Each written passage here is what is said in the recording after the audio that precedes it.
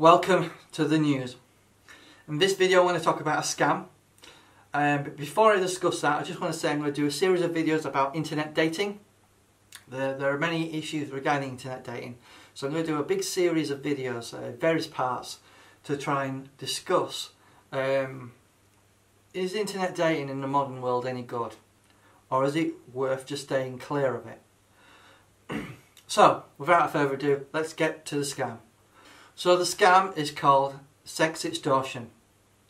So you may be contacted by someone through social media such as Facebook or the dating site and you'll exchange Skype details and you'll talk to each other on Skype and you'll have long discussions and then you'll at some point have a Skype call.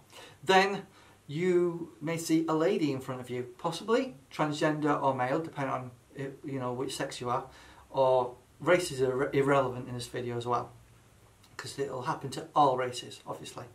Um, so you're talking to someone on a video call which isn't normal out of the ordinary is it?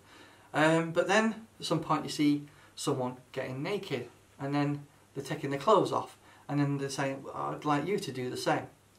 And you might be foolish and you might feel turned on and you might do that do the same thing and then they tell you, I have a video of you being naked.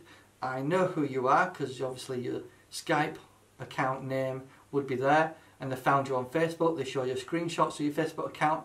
So they found who you are. And they say, I'm going to send this video to your friends, relatives, work colleagues if you don't send me some money. So it's blackmail, extortion, hence the word sex extortion. And um, their, their whole concept is to try and rip you off and they blackmail you.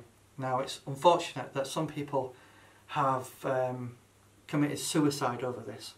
Five men have been known to commit suicide once someone had done this.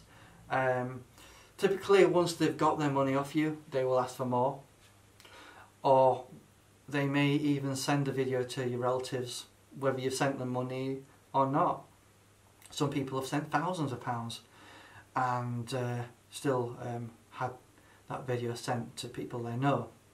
And rather than face the embarrassment and shame, they commit suicide. And it's quite sad that that happens.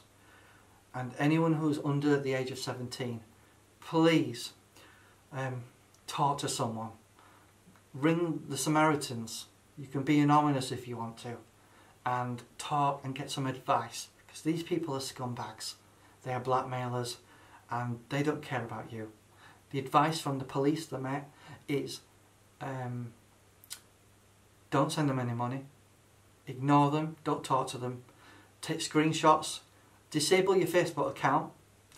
Um, maybe a few weeks later you can reactivate it and set your security settings up properly so that no one can um, obviously get in touch. Um, tell people you know that may have received this message um, to report it to Facebook and it will probably get highlighted as spam. Facebook are quite good at these things though. They do report um, ban these people.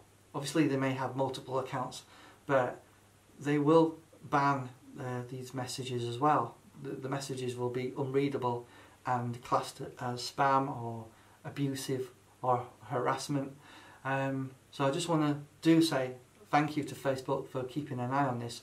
I know Facebook's got a lot of bad press, but when it comes to these messages uh, through Facebook, they are really keen to cut this sort of thing out um, because I think they realise that cyberbullying is a big thing on the internet and they do want to try and protect underage people um, and children in particular.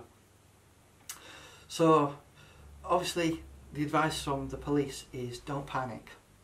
Um, and sometimes it might be worthwhile just to come clean to, to your relatives, your mum and dad, your friends, your brother, your sister, um, and just say, or even some of your friends that you trust, um, that someone may try and send this message. You see, typically they will, once you've paid them, even if it's a few hundred pound, um, they'll ask for more, which could end up being thousands of pounds and even then they may still send that message in spite. Um, now the Philippines police are working with the UK police um, to try and clamp this down on this. And a recent BBC documentary that I saw where they showed these people being caught is they actually went to a few of the suspects and said, this person um, died because of what you did. Uh, do you understand what you did? And while he denied, um, you know, being involved in it, in my opinion, in his eyes, I could read what he was feeling, and that was guilt. Anyway, uh, the, the, the advice from the police is report it. They say they will be open-minded, they won't judge you. This happens all the time. Um, and, you know, I'm starting to feel that there are so many scammers on the internet that it is costing the West, the, the, the businesses, the governments, billions of pounds across the world. And I think, I think the death penalty should come back to be um, a deterrent against them doing something like this.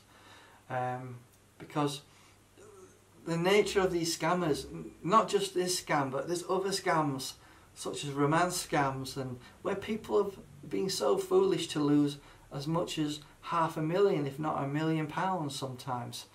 And they've just believed everything these scammers have said. And that's what these scammers do. They lie, they pretend, they try and put hope into people's minds that um, they are there to try and be your friend, your lover, you know, and, and they're not. They're just there to try and rip you off. They, they see um, scamming you, the general public, as a job. Um, and they get bonuses, you know, for making as much money as possible. Just like you might have a sales job, and if you're the, the greatest selling person, um, you might get a bonus. Well, these people get a bonus for, for scamming um, Westerners.